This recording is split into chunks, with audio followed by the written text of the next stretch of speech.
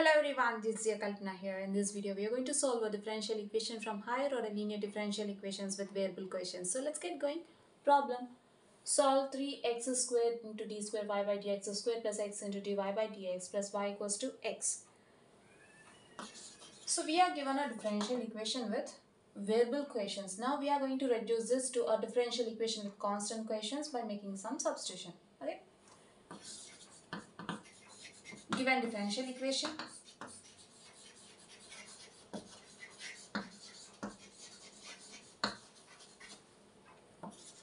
three x square d square y by dx square plus x into dy by dx plus y equal to x. We know that d is a differential operator with independent variable x. Then d square will be d square by dx square, right?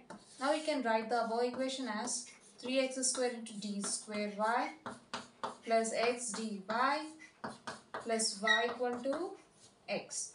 Now take y common from all the three terms of LHS. We'll get 3x square d square plus xd plus 1 into y equal to x which is a Cauchy's equation.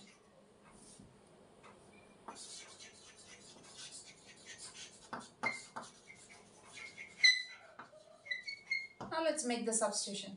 Put x equals to e power z then log x to the base equals to z for x greater than 0. Let theta equals to dy dz. Here theta is a differential operator with independent variable z.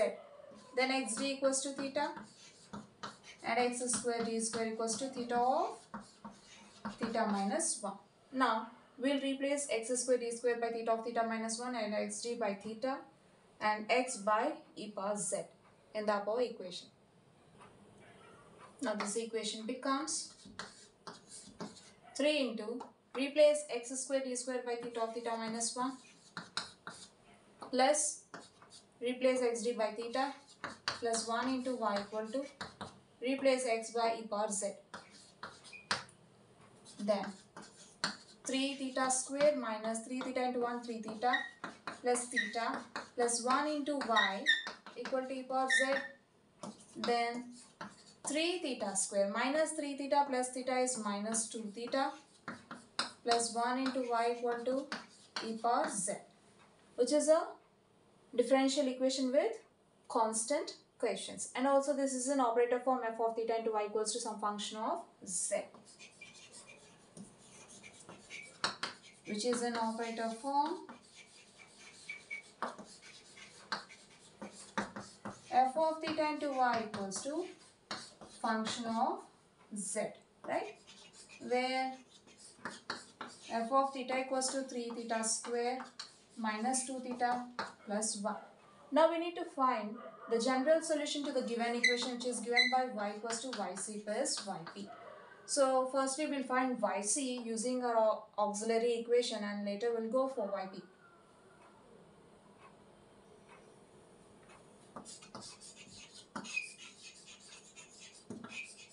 The auxiliary equation is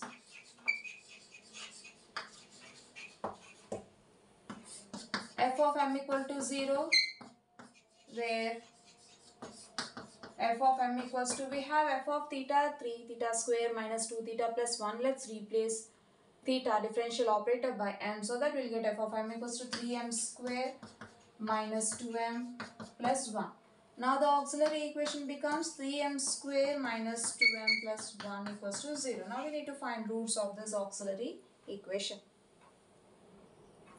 Now let's find roots using quadratic formula m equals to minus minus b plus or minus square root of b square minus 4ac by 2a.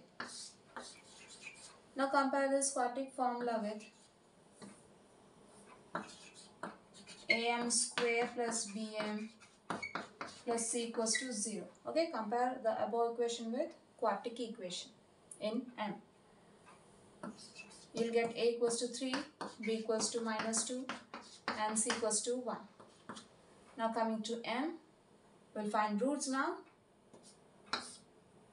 minus of minus 2 plus or minus square root of minus 2 whole square minus 4 3 into 1 by 2 into 3 this is equals to 2 plus or minus square root of 4 minus 4 3 is 12 by 2 3 is 6 which is equals to 2 plus or minus square root of 4 minus 12 is minus 8 by 6 right? Then m equals to 2 plus or minus square root of we are having minus 8 under square root right? We'll just split minus 8 as minus 1 into 8 by 6 is equals to 2 plus or minus square root of minus 1 into square root of 8 by 6 since we know that square root of minus 1 is i then this becomes 2 plus or minus i into and also write 8 as 4 into 2 here itself you can split 8 as can split here 8 as 4 into 2 again split square root of 4 into square root of 2 as square root of 4 into square root of 2 right is equals to 2 plus or minus i into square root of 4 is 2 into root 2 by 6. Now take 2 common from the numerator, we'll get 2 times 1 plus or minus i into root 2 by 6. 2 ones are 2 threes are is equals to 1 by 3 plus or minus i into root 2 by 3. A pair of complex conjugate roots, right? Therefore, m equal to 1 by 3 plus or minus i into root 2 by 3. Fine. We know that a plus ib is a complex number then its conjugate is a minus ib. If a minus ib is a complex number its conjugate will be a plus ib. So we can call m equals to a plus or minus ib as a pair of complex conjugate roots, right? If m equals to a plus or minus ib then yc looks like e power a z into c1 cos bz plus c2 sine bz. Now coming to our complementary function.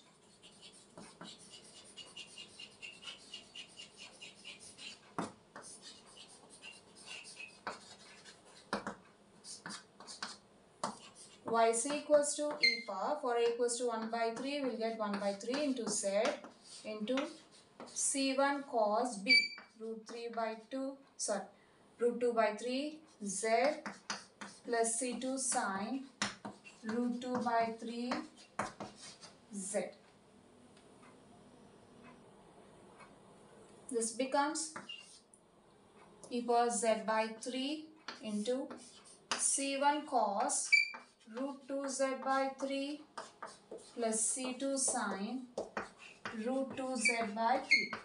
Now we are having yc in terms of z, right? But we need to write in terms of x. For that purpose, we'll just write e power z by 3 as e power z whole power 1 by 3. Because we have to replace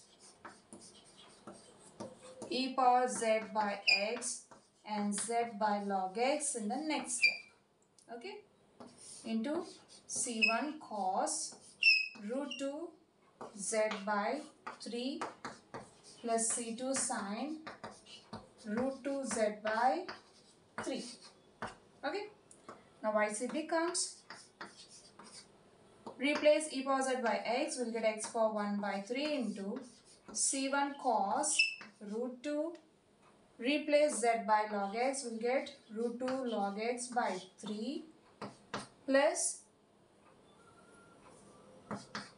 C2 sine root 2 log x by 3. So these are required YC. Now let's go for YP. Particular integral.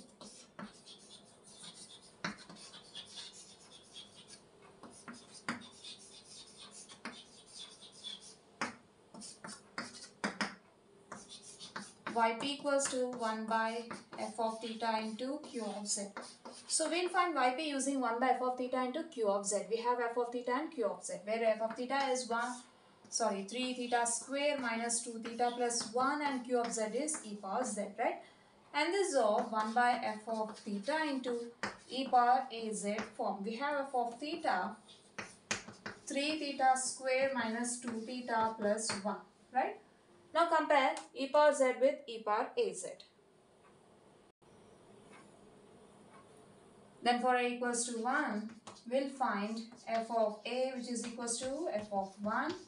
Just replace theta by 1. We'll get 3 times 1 square minus 2 into 1 plus 1 which is equals to 3 minus 2 plus 1 which is equals to 3 plus 1 4 minus 2 equals to 2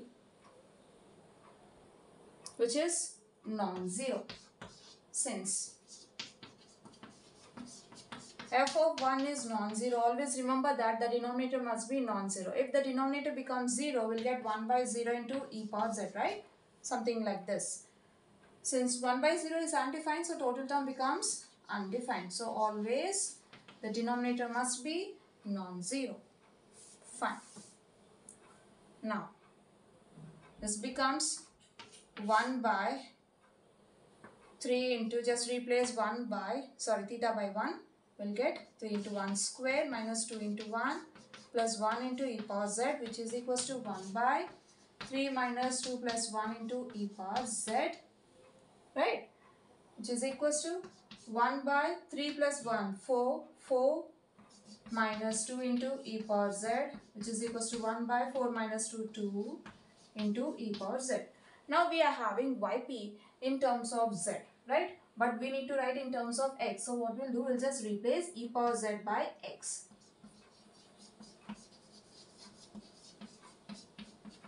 Okay, then this becomes 1 by 2 into x and we can write 1 by 2 into x as x by 2. So these are required yp.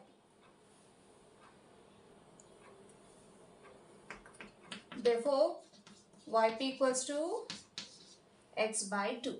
Now we are having yc and yp. Let's write the general solution.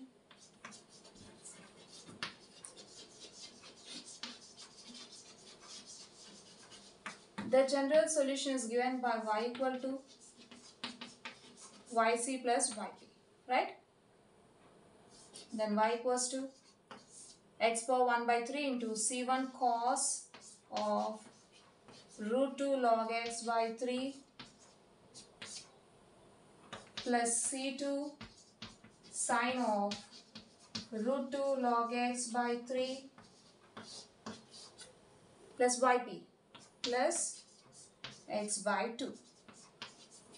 These are required solution. So we have seen a problem from higher order linear differential equation with constant coefficients in this video. Hope you'll understand. We'll see you in the next video. Until then, bye bye. So we have seen a problem from variable coefficients, not constant coefficients. Okay, bye.